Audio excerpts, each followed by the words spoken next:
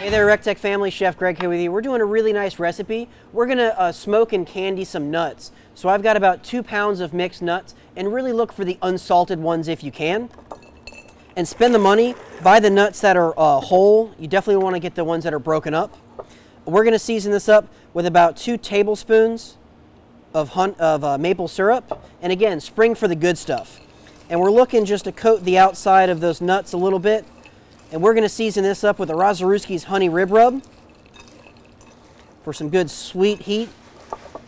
So again, those nuts are just barely coated in that maple syrup, and that'll give us a nice sugar, sugary crust. We'll add about two, table, two to three tablespoons of the rib rub.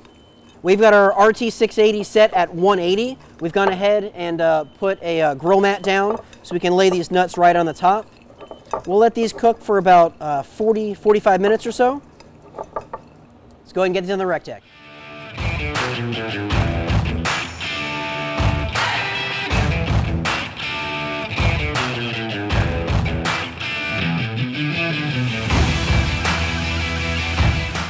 Now these are delicious to serve nice and warm, but if you're gonna save them for later, go ahead and put them on a cookie sheet, spread them out a little bit and let them cool, and I guarantee you they will be no leftovers. So when it's time to bring out a good snack for your next party, try candying some nuts.